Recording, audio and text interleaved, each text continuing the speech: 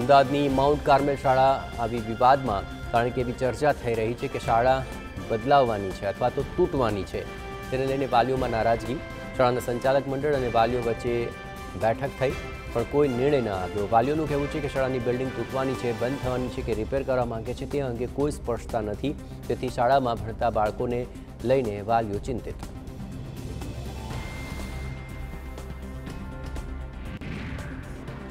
અમદાવાદના કોટડા પોલીસ મથકની હદમાં લૂંટારુઓનો ત્રાસ આવ્યો. સામે કે જ્યાં બે દિવસ પહેલા એક જ્વેલરને લૂંટવાનો નિષ્ફળ પ્રયત્ન થયો. સમગ્ર ઘટનાની વાત કરીએ તો નારણપુરામાં રહેતા એક જ્વેલર રાતના સમયે કાર લઈને ઘરે જતા હતા. એ દરમિયાન કોટડા વિસ્તારમાં ત્રણ દુકાનીધારી શખ્સોએ જ્વેલરને આંતરી લીધો અને કાર પર ફાયરિંગ કરીને લૂંટનો પ્રયત્ન કર્યો. જોકે જ્વેલર સમય સૂચકના વાપરીને ત્યાંથી ભાગી જતા બચી ગયા, જેથી લૂંટારુઓનું કાવતરું નિષ્ફળ બન્યું.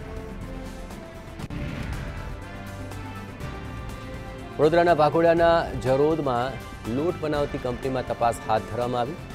શ્રીજી એગ્રો ઇન્ડસ્ટ્રીઝમાં પંચમહાલ ડીએસઓ, હાલોલ મામલતદાર, વાઘોડિયા મામલતદારની ટીમો દ્વારા તપાસ કરાઈ. પંચમહાલમાંથી સરકારી અનાજ કંપનીમાં સગે વગે કરાયું હોવાની માહિતીના આધારે આ કાર્યવાહી કરાઈ. આ સ્ટોક રજિસ્ટરમાં એક હજાર બસો એકસઠ ક્વિન્ટલ અનાજની ઘટ જણાઈ.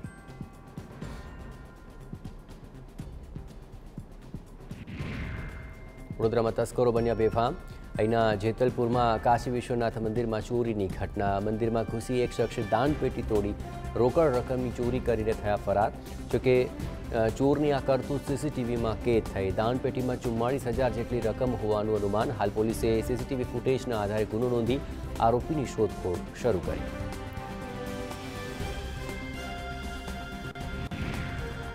સુરતના વેસુ વિસ્તારમાં મોટું સટ્ટાકાંડ ઝડપાયું. પોલીસે બાતમીના આધારે દરોડા પાડીને સટ્ટાકાંડનો કર્યો પર્દાફાશ. પોલીસે ત્રણ બુકીની ધરપકડ કરી છે.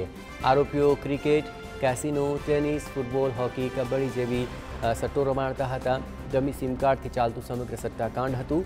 તો રાજકોટ, અમદાવાદ, અમરેલી, મહેસાણા અને પાટણના પાંચ બુકી પણ વોન્ટેડ જાહેર કરાયા.